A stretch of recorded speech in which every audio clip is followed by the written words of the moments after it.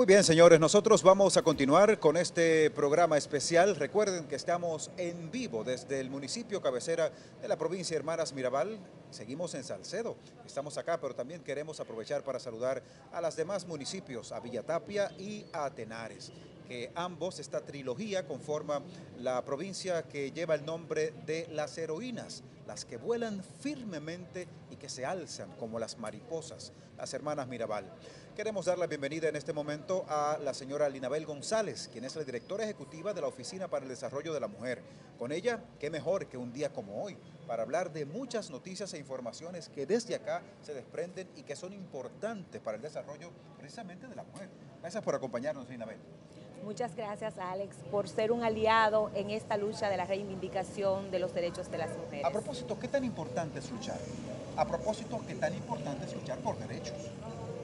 es importante porque nos permite reivindicar los derechos de todas las mujeres y también alzar la voz, visibilizar los sistemas de discriminación que existen desde el Estado, desde los sistemas que están llamados a garantizar esos derechos fundamentales, esos derechos humanos de las personas. Hoy por hoy, no sé por qué me, me, mueve preguntarte cuán importante es ser mujer. Bueno, eh, ser mujer es ser mujer, o sea, es una persona, pero sobre todo es el tema del reconocimiento de sus derechos, de que nos miren y nos respeten, que nos respeten como iguales a los hombres. Entonces, ser mujer es ser persona, es ser humana, es sentir.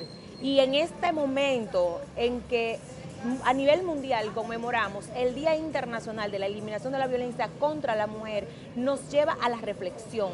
¿Cómo nos tratan las políticas públicas desde el Estado? Cómo el Estado está oprimiendo los derechos fundamentales de las mujeres, cómo las mujeres se nos considera un ser de segunda categoría, teniendo los mismos derechos y no son garantizados. Entonces nos lleva a llenar a esa reflexión de lo que sentimos las mujeres al no ser respetadas y que aún no se nos permita legal y jurídicamente ni siquiera decidir sobre nuestros propios cuerpos. Desde la oficina para el desarrollo de la mujer, que tú eh, tienes a bien ser la directora ejecutiva, ¿qué, ¿qué, se está gestando? ¿Qué se está desarrollando? Bueno, nosotras como Oficina para el Desarrollo de la Mujer, en estos 27 años de trabajo ininterrumpido promoviendo la igualdad de oportunidades en la provincia Hermanas Mirabal, hemos impulsado diferentes iniciativas, desde eh, la asistencia legal gratuita a través del Centro Jurídico para la Mujer con su programa de representación legal a víctimas, donde las mujeres que toman la decisión de denunciar pues son asistidas por un abogado, una abogada que le acompaña en los tribunales, esto debido a que los imputados, los agresores, tienen un defensor, un defensor eh, público que es bastante capacitado, sin embargo las víctimas que han sufrido eh, el, hecho, que han sufrido el daño, pues están desprotegidas. Eh, también el Centro de Atención a la Víctima, con una alianza estratégica con la Procuraduría General de la República. Nosotras creamos este centro donde funciona la unidad de violencia de género y delitos sexuales e intrafamiliar. Y ahí toda la familia denuncia, pero con un sentido nosotras pensando en que las mujeres no tuviesen que ir a la fiscalía, luego al hospital para el médico legista, sino que todos los servicios lo encuentren en un mismo lugar.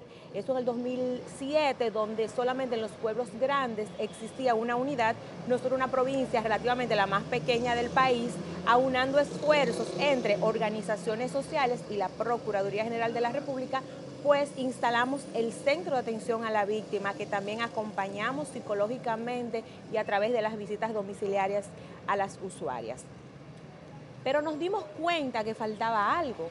Por eso creamos el Fondo Solidario con Víctimas de Violencia, porque es un instrumento financiero que inserta a las mujeres a un trabajo generador de ingresos, lo cual le permite a ellas no depender económicamente y poder salir del ciclo de la violencia por esa situación de violencia económica que muchas veces se da que si una mujer no tiene cómo mantener a sus hijos e hijas, pues se mantiene en el ciclo de la violencia. Con el Fondo Solidario se inserta en una empresa local y el Fondo Solidario pues por tres meses asume el pago de esta mujer, lo cual eh, ha dado muy buenos resultados y de hecho el gobierno de Luis Abinader ha estado tratando de implementar un programa similar con víctimas de violencia, pero estas de manera exclusiva las que van a casas de acogida. ¿Sabes que ahora que mencionas a propósito al presidente eh, Abinader, ¿qué tú sientes que, desde el gobierno central, desde el Ejecutivo, se está desarrollando, qué políticas eh, se están implementando tras el fortalecimiento de género en materia de esa problemática que tú bien señalas? El presidente tiene muy buenas intenciones en hacer cosas. Una de las primeras que hizo fue establecer el gabinete de, políticas de género y de mujer. Y la ministra también tiene muy buenas intenciones en hacer cosas. Ahora, el asunto de género no es solamente de una persona, tiene que ser transversal, que entra a todos los ministerios, a todos los poderes del Estado que desde educación se garantice la educación sexual para las niñas, que se oriente sobre el tema del acoso sexual, que las niñas puedan identificar cuando son acosadas y qué hacer y conocer su propio cuerpo. Sin embargo, el Ministerio de Educación aún se niega a una educación integral para las adolescentes y los adolescentes. Por otro lado, el Poder Judicial no toma muy en serio las denuncias de violencia de género. Eh, no bastan los esfuerzos de la Procuraduría General de la República en perseguir o presentar un caso. Cuando van a los tribunales se le impone una garantía económica. Hablo del caso muy particular de Hermanas Mirabal que hemos tenido un proceso de mucho tiempo ya promoviendo y motivando para llevar a la reflexión. Sin embargo, nuestra provincia que nosotras estamos atentas, vigilantes, tenemos más de un 80% de garantías económicas versus prisión preventiva. Tú sabes que ahí, ahí, quería, ahí quería llegar para puntualizar. Hoy tendremos con nosotros como invitado principal y muy especial, ¿no? A don Roberto Santana, quien es el, el asesor honorífico del Poder Ejecutivo, sobre todo en materias de seguridad ciudadana y sistema penitenciario. Tú mencionas y lo haces de manera muy puntual esto de las garantías económicas. Fortalezcamos ese tema.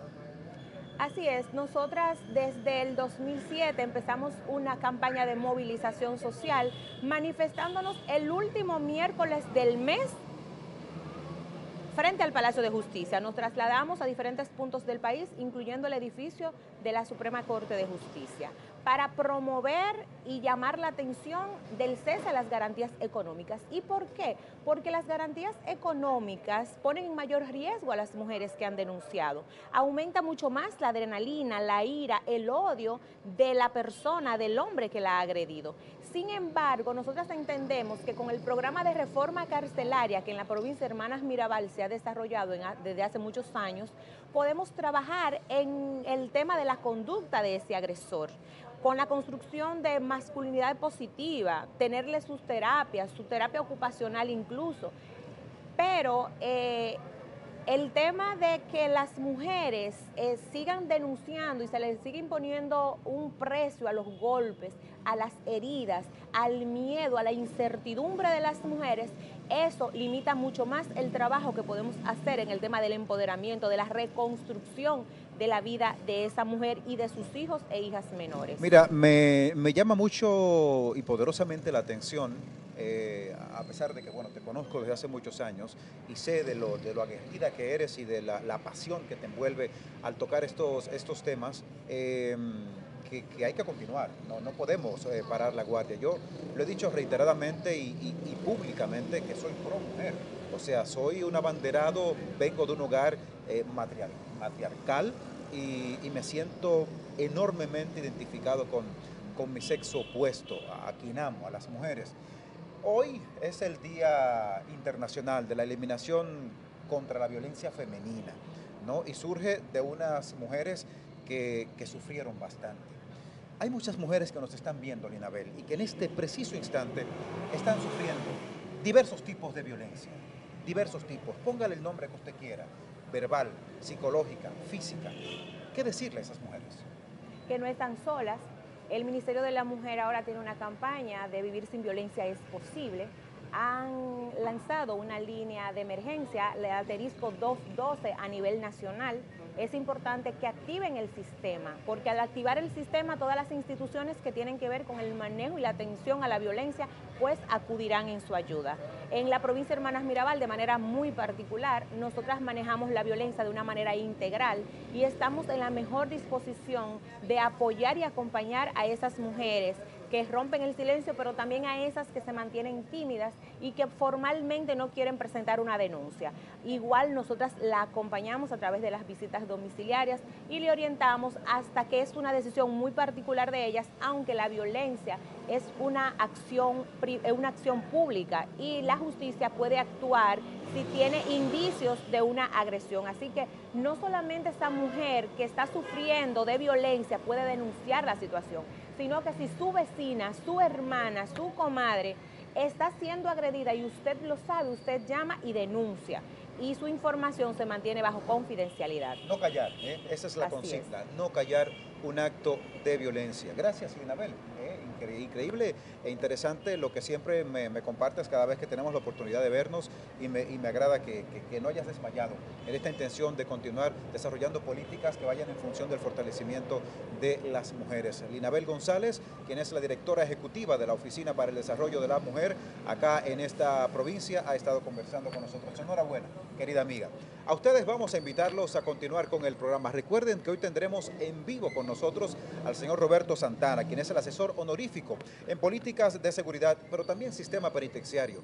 Así que ya saben, tendremos un banquetazo con este invitado de lujo. Además, seguiremos acá en vivo para ustedes desde la provincia Hermanas Mirabal, impactando de manera directa los tres municipios, Villa Tapia, Tenares y acá donde nos encontramos para ustedes en el Parque Duarte de Salcedo. A mis espaldas le voy a dejar estas imágenes de la parroquia San Juan Evangelista, que muestra por demás el crecimiento de una hermosa ciudad. Con esas imágenes espectaculares de Salcedo.